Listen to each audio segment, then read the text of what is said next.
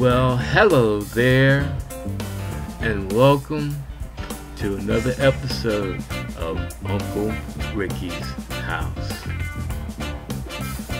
Well, it seems like it appears that, I mean, just due to all the, the, the pomp and circumstance, all the fanfare, all the hustle and bustle, all the shuffle of everybody that matters, maybe. It seems like Donald John Trump is finally, finally going to have to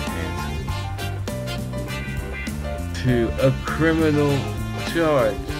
A criminal charge, not a civil, you know, a criminal court where the consequences could be his mango lard ass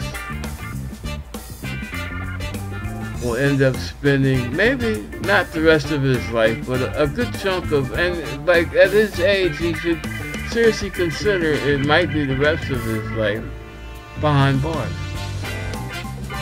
For being guilty, for breaking laws in the country that he was the former president of, in the country that he desires to be the president of again, so he can finish his personal mission of fucking us up, fucking the United States up beyond total recognition. And it's really crazy because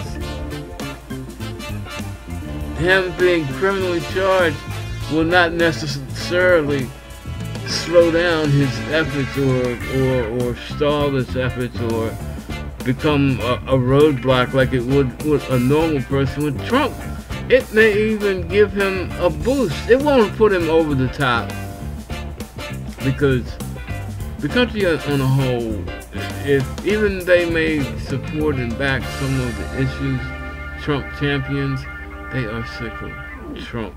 They don't want Trump. They know that Trump is is a loser, regardless of what comes out of his mouth. They know that Trump is a loser, but he's not the type that will just go away and shut the fuck up. If he can't have the toy, he will break the toy. And but unfortunately, in this case, the toy is a country, the United States of America, the, the one that we call home. You know, good old U.S. of A.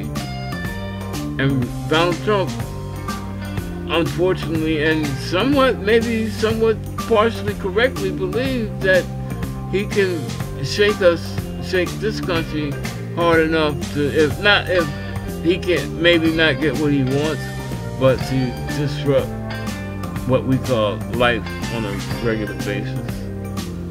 And how he got to that point, I don't know, but it seems that right now, at this hour, at this minute, it seems that Trump may have to go to jail. And that's a good thing. Even though if in the, you know, whole scope of all the things that he's charged with, it's kind of like you know relative to like maybe jaywalking with Alvin Bragg's concocted,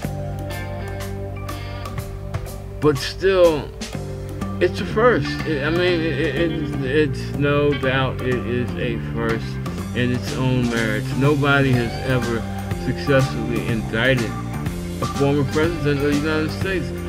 It could be because like criminally nobody had the gumption, you know, because that, that does take balls. And if you look at the whole scope of things, it didn't take a lot of balls to do what Bragg did. If you remember correctly, he had a whole investigation laid out before him with the outgoing attorney, I mean, with the outgoing district attorney just saying that all he had to do was just sign the document, sign the papers to, to, to you know, take it to the grand jury. But uh, Bragg refused to. And then somewhere along the way, maybe he saw how to make it work out for himself. Because he's one of those high percentage. He's not if he th- if he thinks he's gonna have difficulty or it's not gonna turn favorable for the prosecutor. You know, if it's not if not if it's not almost a slam dunk or it's not something that he can steamroll his way through and get headlines, and this will definitely give him headlines and I think he's seen that the probability of him losing on the way that he's going to present the charge is, is very low. So he's willing to take that chance, especially because the rewards. I mean, look at how this is going to go down in history. No matter what happens from this point on, no matter who brings in what, no matter who wins at what, Alvin Bragg will be the first prosecutor on any level in the United States to formally indict a former president of the United States. And the fact that it's, you know, Donald Trump, that's just a feather in his cap, but eventually both of them will become footnotes in history, but the important thing will be that the American justice system for once worked to include everyone, even those at the highest level. You know? And how is this going to affect the country? Well, the stock market is already shaky. They, they, they're already upset because the federal government bailed out the depositors, but didn't bail out the board. Uh, you know, now they gotta, now it's like, you know, their, their little puppet palace you can get to you can become you can become the, you, you can become the Pinocchio, the head puppet in the palace, and the people can still pull your strings. So the you know industrial complex, the political industrial complex, they they they're not happy no matter what what banner they you know run under, because eventually sooner or later there's going to be a political president that has power, uh, you know, ideals and maybe you know uh, self-contained uh, hatred that, that, you know they'll spring on the country and become uh, you know Heckle Jekyll, you know Dr. Heckle, Mr. Hyde, uh, you know Donald Trump type president, and they'll want a way out. So nobody's really in power really happy about this, but the people, us, the ones in the middle we smiling ear to ear because for all of us that said that it was going to happen against all of those who sometimes we even cared about, respected, and loved, said that it wasn't going to happen. Now we can just look at you and go, haha, we fucking told you so. Dumbass. no, seriously, it, it, it, it's a good, it's a good feeling. But to be realistic, where are we? We don't. It's uncharted territory. This is we are we we we we the Lewis and Clark generation. We we blazing away. We we like off on the Star Trek thing where no land has gone before, where no Americans have gone before. We have never had to do this on a criminal level very, I mean, I can't really think of anything major on a civil level unless it was connected to their actual uh, time in office. That you know, a, a, former president had any serious court thing come come up like this. But Trump, I mean, you got to give it to him. He was he even if he's never foot in the White House again, would just please, if there's anything even resembling a God, that, you know, he'll grant us this one prayer, this one wish, this one blessing, that that will never happen. But it's amazing with all of this shit. It's going, in some people's eyes, a certain small percentage of the people in this country, it's going to solidify their belief in Trump. It's going to make them work harder to get Trump back into the White House.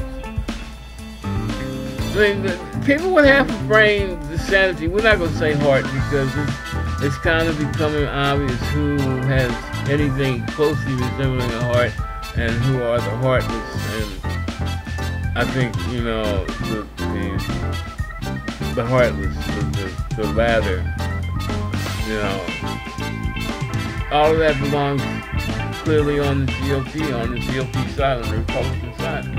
I mean, and, and then when you throw in that uh, a large portion of the heartless is brain they just bots women to be pointed in any direction and just under any, you know, as long as you label the cause patriotism and being free, freedoms, protecting our our freedoms. What fucking freedoms? This is fucking dead. You're not being denied anything that, anybody else is getting, and in the process, you want to deny everybody else anything that you know is they earned or is good for them. And how do you think people are gonna take that shit? Why do you think people?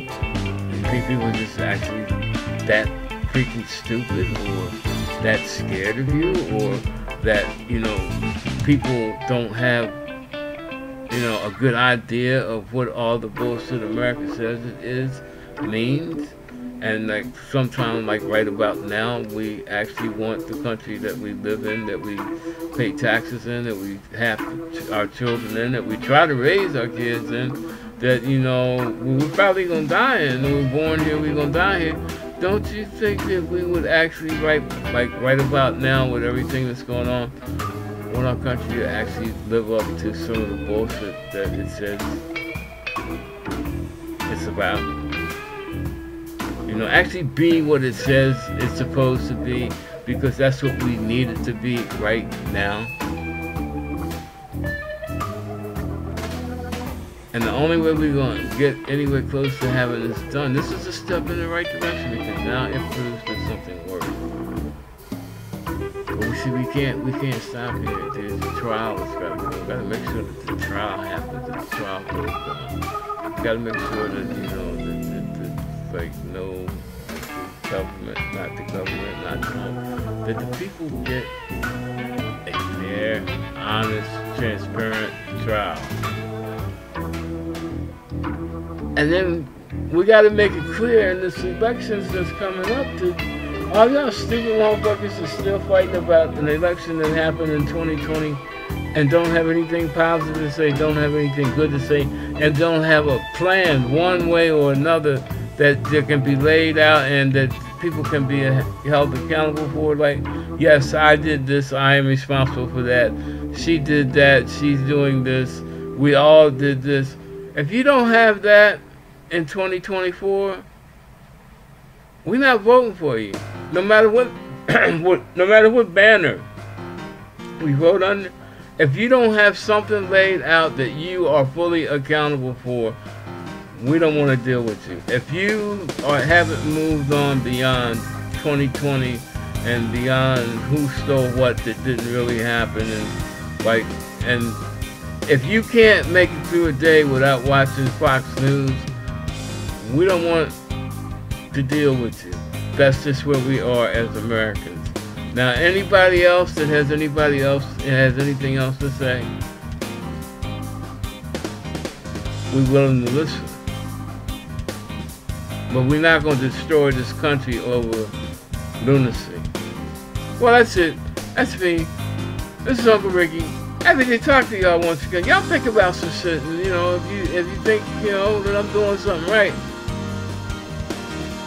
join me next time on another episode of Uncle Ricky's House. See you. Peace out and God bless.